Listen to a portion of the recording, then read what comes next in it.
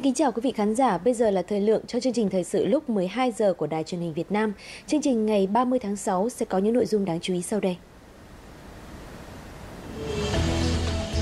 Lễ viếng và truy điệu 9 liệt sĩ đã hy sinh trong vụ tai nạn máy bay Kasa 212 khi thực hiện nhiệm vụ tìm kiếm cứu nạn đồng đội hôm 16 tháng 6 đã được tổ chức tại nhà tang lễ Bộ Quốc phòng Hà Nội.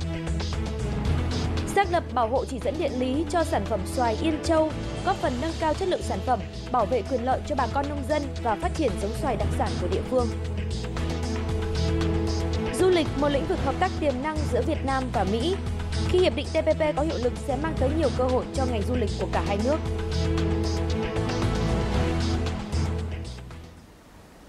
Sau đây là nội dung chi tiết của chương trình. Thưa quý vị, lễ viếng và lễ truy điệu 9 liệt sĩ đã hy sinh trong vụ tai nạn máy bay Kasa 212 số hiệu 8983 khi thực hiện nhiệm vụ tìm kiếm cứu nạn đồng đội hôm 16 tháng 6 vừa qua đã diễn ra sáng nay tại nhà tăng lễ Bộ Quốc phòng thành phố Hà Nội. Đến viếng và chia buồn cùng gia đình các liệt sĩ có đoàn đại biểu Quân ủy Trung ương do Tổng Bí thư Nguyễn Phú Trọng, Bí thư Quân ủy Trung ương dẫn đầu, đoàn Chủ tịch nước do Chủ tịch nước Trần Đại Quang dẫn đầu, đoàn chính phủ do Thủ tướng Nguyễn Xuân Phúc dẫn đầu, đoàn Quốc hội do Chủ tịch Quốc hội Nguyễn Thị Kim Ngân dẫn đầu và đoàn Ủy ban Trung ương Mặt trận Tổ quốc Việt Nam do ông Nguyễn Thiện Nhân dẫn đầu. Những quân nhân trên máy bay Kasa 212 hy sinh trong quá trình thực hiện nhiệm vụ tìm kiếm cứu nạn máy bay Su-30 MK2 đã để lại bao nỗi tiếc thương cho gia đình, đồng đội và người dân cả nước. Hiện các lực lượng tìm kiếm cứu nạn đã tìm thấy 8 trong tổng số 9 thành viên của phi hành đoàn.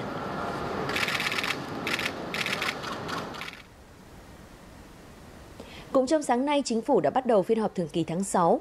Trong phiên làm việc thứ nhất, Chính phủ sẽ dành cả buổi sáng để họp về xây dựng thể chế, với trọng tâm là tình hình soạn thảo và trình ban hành các văn bản quy định chi tiết thi hành các luật pháp lệnh có hiệu lực thi hành từ ngày 1 tháng 7 tới đây. Trong số 50 văn bản quy định chi tiết hướng dẫn thi hành luật đầu tư và luật doanh nghiệp, hiện chỉ còn một dự thảo nghị định chưa được trình chính phủ và đang được Bộ Tư pháp thẩm định Đến thời điểm này, có 23 nghị định đã được Thủ tướng Chính phủ ký ban hành và 18 văn bản khác sẽ được Thủ tướng ký trong ngày hôm nay. Chiều nay, Chính phủ sẽ họp trực tuyến với lãnh đạo của tất cả các tỉnh thành trong cả nước để đưa ra các giải pháp về phát triển kinh tế xã hội trong nửa cuối năm nay. Trong số 28 văn bản chưa được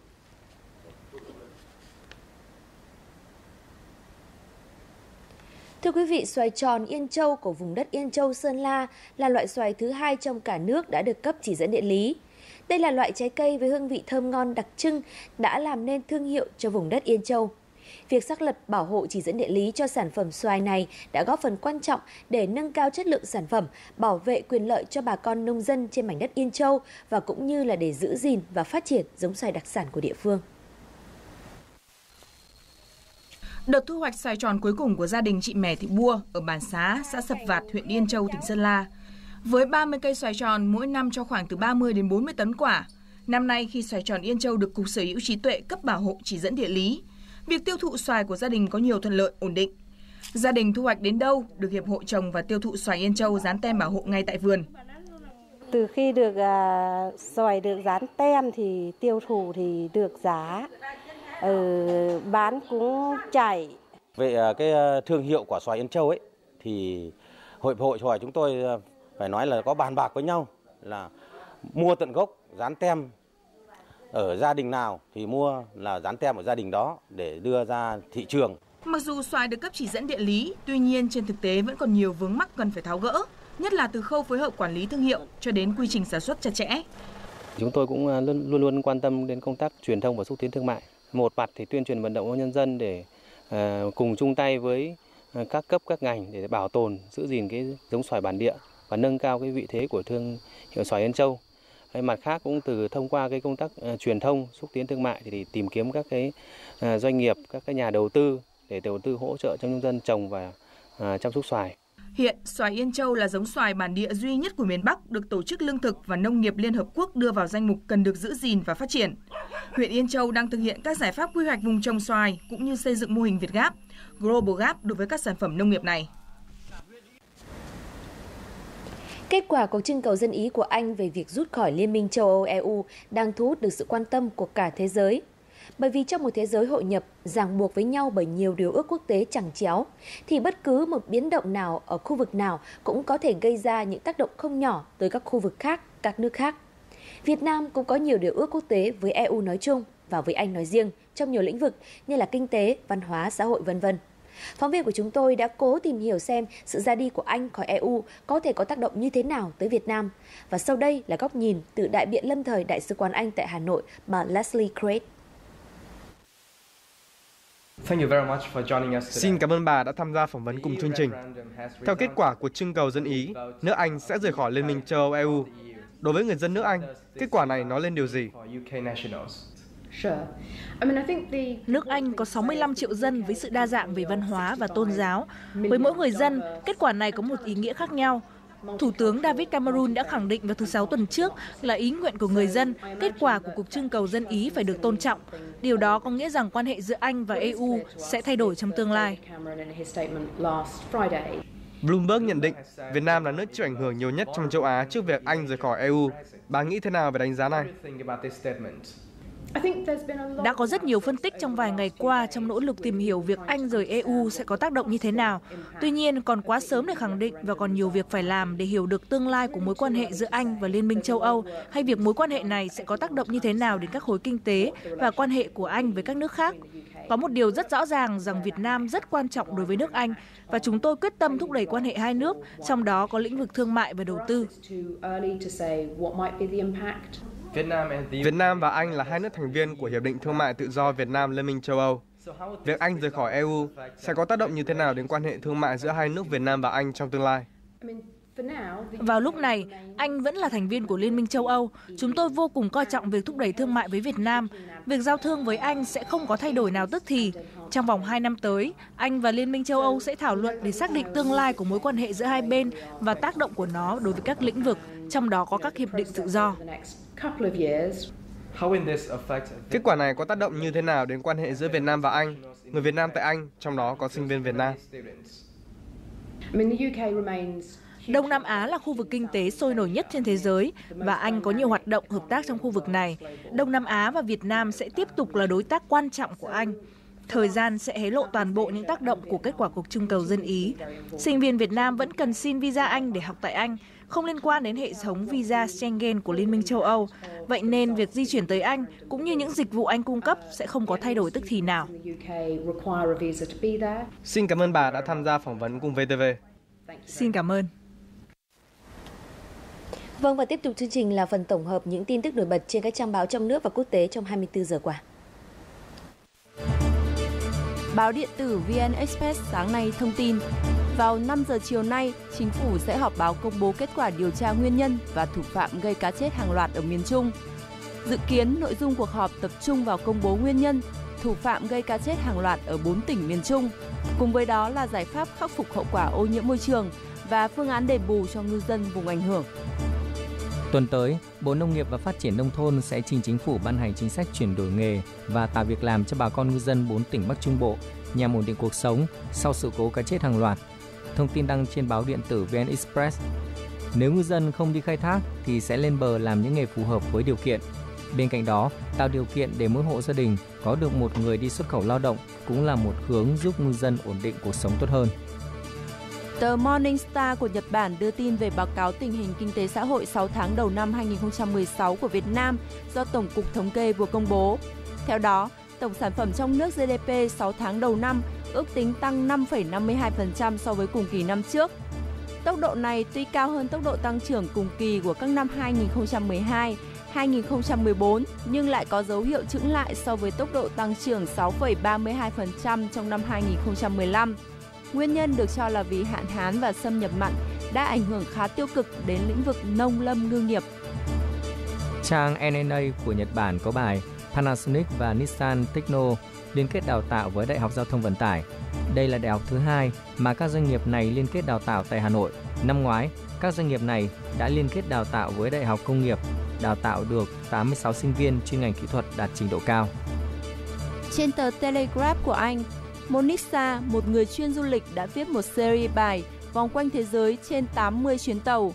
Trong đó, tác giả đã đưa ra danh sách 10 tuyến tàu hỏa đẹp nhất thế giới. Việt Nam lọt vào top này với tuyến tàu thống nhất đi từ Hà Nội đến Đà Nẵng. Tuyến tàu này được miêu tả là tuyệt đẹp khi xuyên qua các khu rừng nhiệt đới và đi dọc bờ Biển Đông.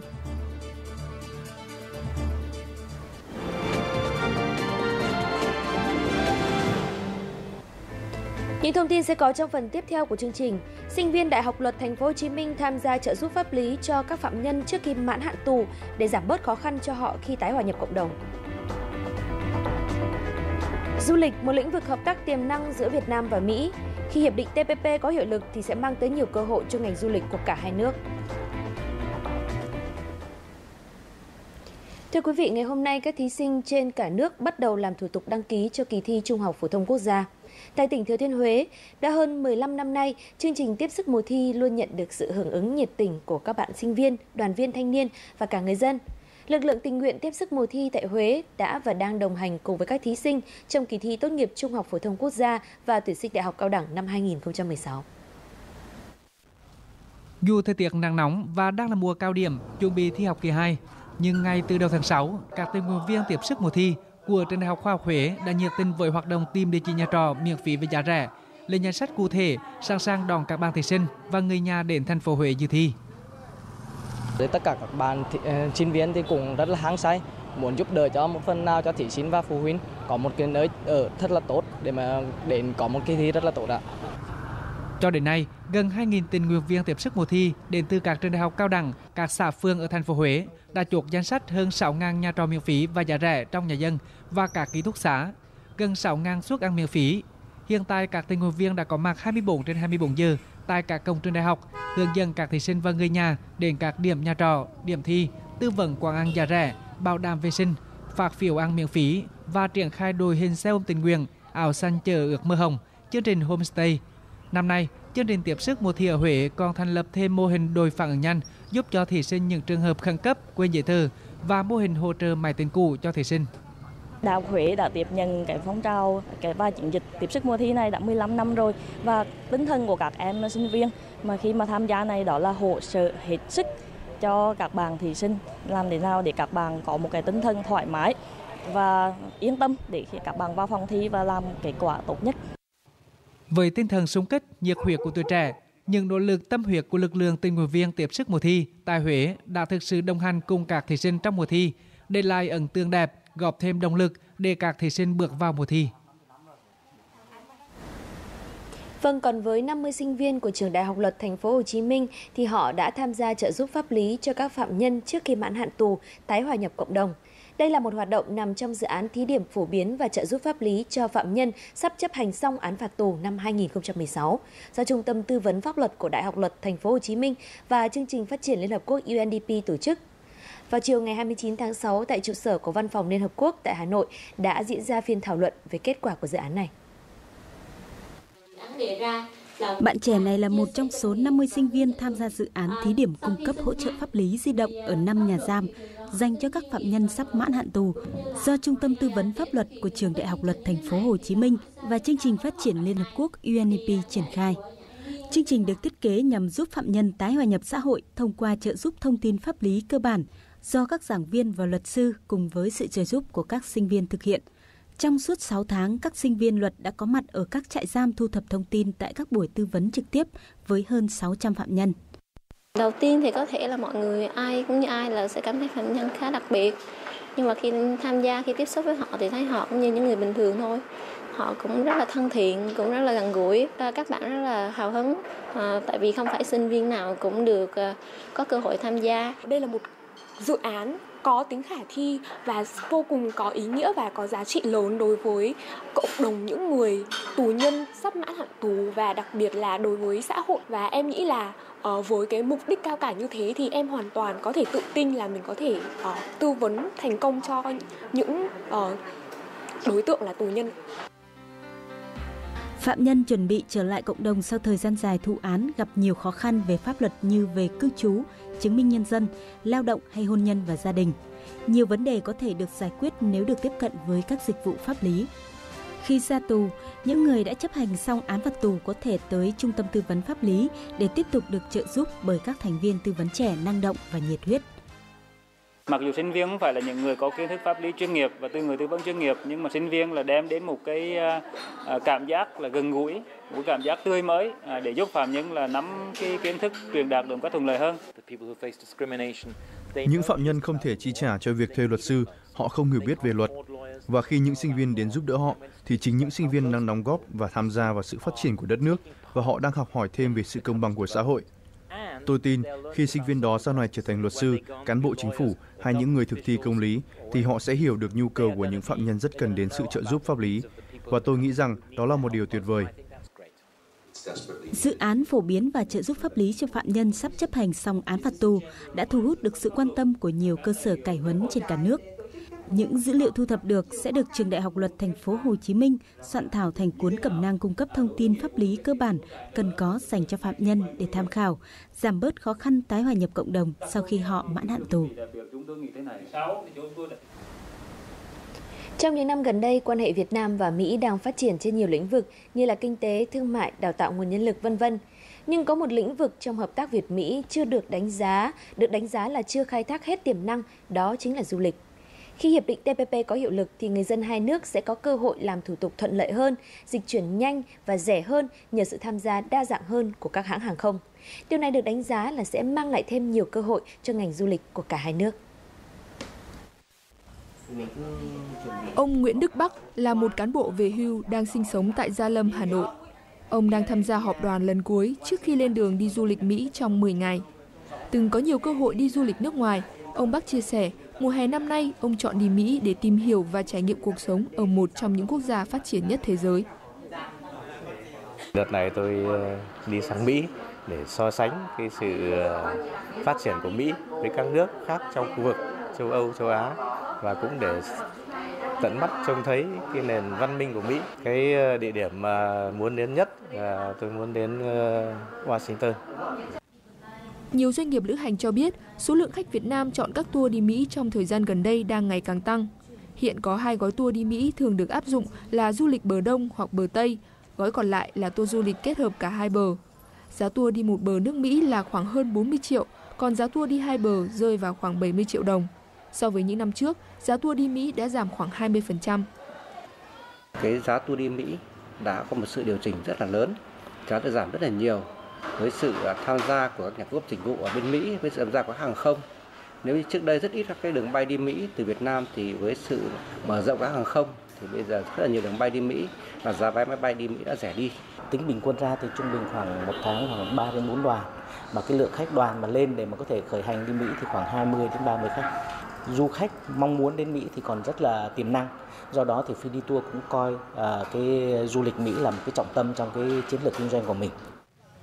Còn theo chiều ngược lại, trong những năm gần đây, số lượng du khách Mỹ đến Việt Nam cũng tăng trưởng ổn định. Theo thống kê của Tổng cục Du lịch, sau tháng đầu năm nay đã có gần 300.000 lượt du khách Mỹ đến Việt Nam, tăng 15% so với cùng kỳ năm ngoái. Đây là lần đầu tiên tôi đến Việt Nam. Đây quả là một đất nước tuyệt vời, với cảnh đẹp và đồ ăn ngon. Nhưng điều tôi thấy thích nhất trong chuyến đi là được gặp gỡ, trò chuyện với những bạn trẻ người Việt Nam. Khách Mỹ cũng là một trong những thị trường khách mà chi tiêu nhiều nhất ở Việt Nam. Ờ, chi trung bình cho một ngày ờ, trong một cái chuyến đi là vào khoảng 110 đô ờ, cho các cái dịch vụ du lịch. Ngoài ra thì chi vào khoảng hơn 60 đô cho các cái dịch vụ ngoài tour. Và du khách Mỹ cũng là một cái du đối tượng khách mà ở tương đối dài ngày từ 12 ngày đến 13 ngày Mỹ luôn nằm trong top 5 quốc gia có du khách đến Việt Nam nhiều nhất trong những năm gần đây. Tuy nhiên, theo đại diện Tổng cục Du lịch, các doanh nghiệp du lịch trong nước vẫn cần nâng cao chất lượng dịch vụ để có thể khai thác được nhiều hơn nữa tiềm năng của dòng khách này. Trong các ngày từ 26 đến 28 tháng 6 vừa qua, hội trợ thực phẩm mùa hè lớn nhất nước Mỹ mang tên là Summer Fancy Food Show đã diễn ra tại thành phố New York của Mỹ. Năm nay, lần đầu tiên Việt Nam cử đoàn gồm 9 doanh nghiệp tham gia vào hội trợ này và đã gây được ấn tượng rất tốt đối với khách tham quan. Ghi nhận của nhóm phóng viên thường trú Đài truyền hình Việt Nam tại Mỹ.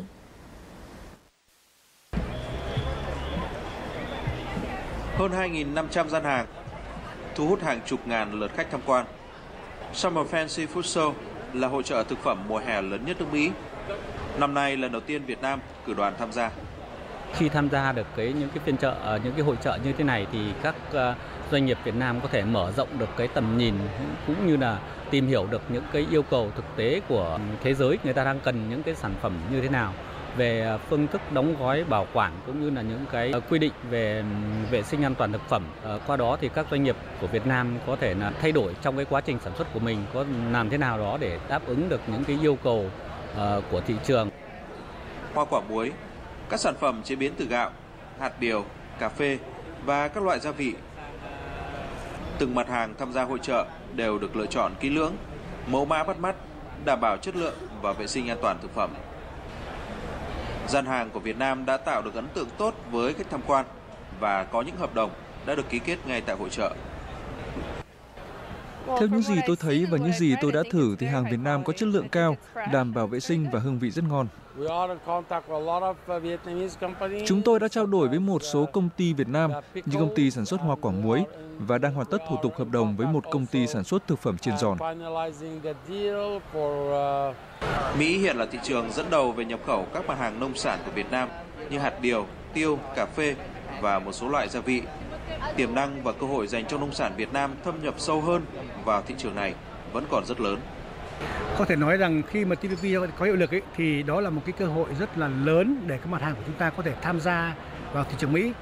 Đặc biệt là năm 2016 thì dự kiến rằng cái nhu cầu của thị trường Mỹ cũng sẽ tăng tăng lên và cái nhu cầu đó và cái cái yêu cầu của thị trường nó cũng ổn định. Cho nên đó là một cái cơ hội rất lớn để các doanh nghiệp Việt Nam có thể tham gia sâu hơn nữa vào cái thị trường của Mỹ nếu như chúng ta có thể đáp ứng được những cái tiêu chuẩn khắt khe của thị trường Mỹ.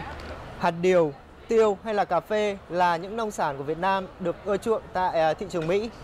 Đa số các doanh nghiệp Việt Nam tham gia hội trợ lần này cho rằng ở trong thời gian tới khi TPP được phê chuẩn và có hiệu lực thì các nông sản của Việt Nam sẽ được hưởng lợi từ hiệp định này nếu như đáp ứng được các tiêu chuẩn cao về chất lượng và vệ sinh an toàn thực phẩm.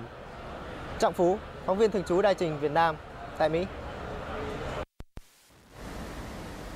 Vâng và còn theo ghi nhận của các phóng viên thường trú Đài truyền hình Việt Nam tại Singapore thì có 5 doanh nghiệp Việt Nam cũng đã tham gia hội trợ quốc tế quà tặng và quà lưu niệm đang diễn ra tại Singapore. Ngay trong ngày khai mạc thì các sản phẩm quà tặng và quà lưu niệm đến từ Việt Nam đã giành được sự quan tâm đặc biệt của khách tham quan.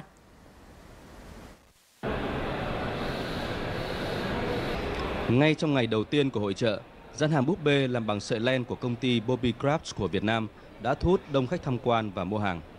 Thậm chí, có khách hàng Singapore đã đặt mua toàn bộ sản phẩm của gian hàng sau khi hội trợ này kết thúc.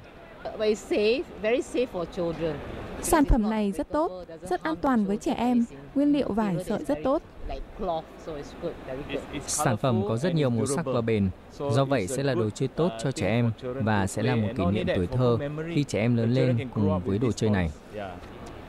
Bên cạnh sản phẩm búp bê sợi len hay bằng giấy cuộn, khách tham quan cũng quan tâm đến những sản phẩm độc đáo khác của Việt Nam như đồ lưu niệm làm bằng sừng, xương và vỏ chai, đồ trang trí lưu niệm làm bằng trầm hương, tranh và khung ảnh nghệ thuật, vân vân.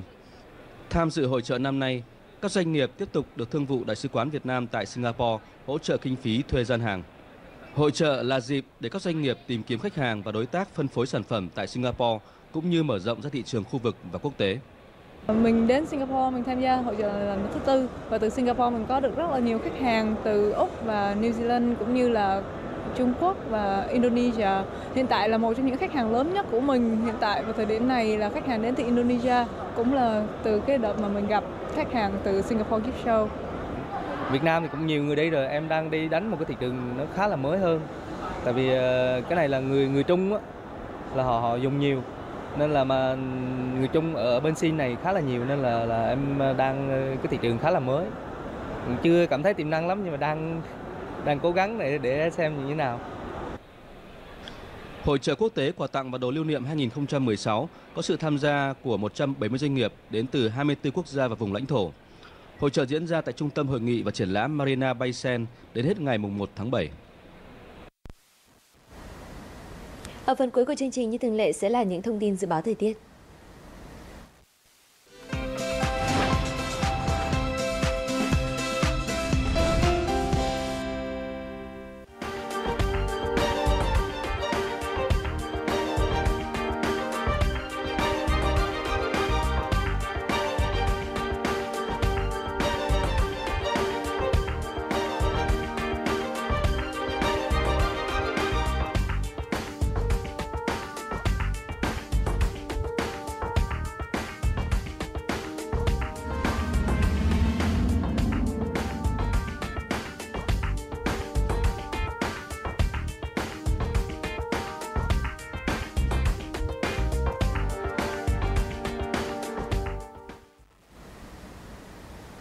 Chương trình thời sự của Đài truyền hình Việt Nam đến đây là kết thúc. Cảm ơn sự quan tâm theo dõi của quý vị khán giả.